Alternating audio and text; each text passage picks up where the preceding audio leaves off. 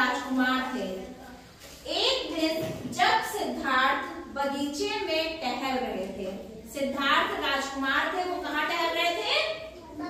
बगीचे में। तभी तभी एक हंस को किसी ने तीर मारा।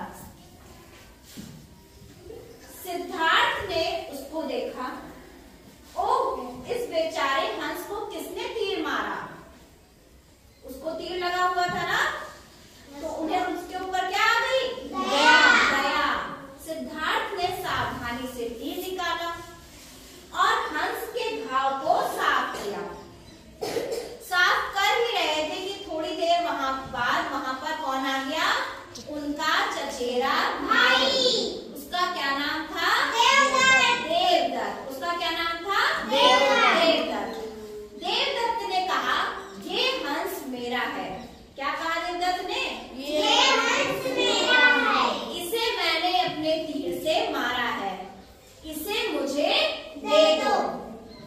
देवदत्त ने जैसे ही ये कहा सिद्धार्थ ने क्या कहा? सिद्धार्थ ने कहा देवदत्त यह हंस इतना प्यारा है तुम इसे मारना क्यों चाहते हो देवदत्त ने फिर कहा हंस मुझे वापस करो ये मेरा शिकार है सिद्धार्थ ने कहा नहीं नहीं मैं इसे नहीं नहीं दूँगा यह झगड़ा अब तो बढ़ गया था यह झगड़ा राजा के दरबार गया।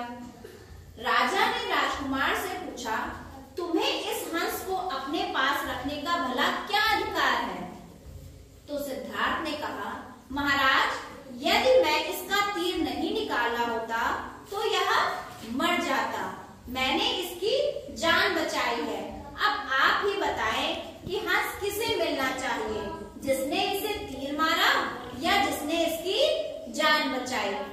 तभी राजा ने कहा, तुम ठीक कह रहे हो।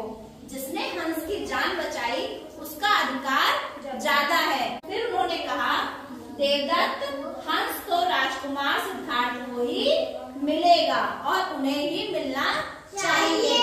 सिद्धार्थ ने राजा को धन्यवाद दिया। और बच्चों के पहले क्या करो? अब इस कहानी से हमें क्या शिक्षा मिली? दूसरे की मदद हमें दूसरे की मदद करनी चाहिए।